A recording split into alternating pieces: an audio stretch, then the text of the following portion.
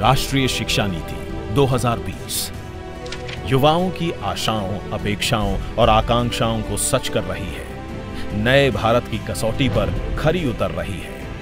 ये पॉलिसी 21वीं सदी के नौजवानों की सोच, उनकी जरूरतें, उनकी आशाओं, अपेक्षाओं और आकांक्षाओं को देखते हुए बनाने का व्यापक प्रयास हुआ है।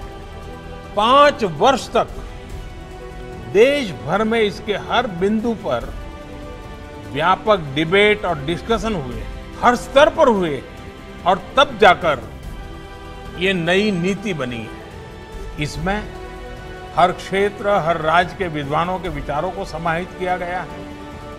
और इसलिए ये सिर्फ़ एक पॉलिसी डॉक्यूमेंट नहीं है, बल्कि 130 करोड़ से अधिक भारतीयों की एस्पिरेशंस का रिफ्लेक्शन भी तो चलो 130 करोड़ भारतीयों की एस्पिरेशंस को सच कर दिखाते हैं। चलो, नया भारत बनाते हैं। राष्ट्रीय शिक्षा नीति 2020 नए भारत की आधारशिला।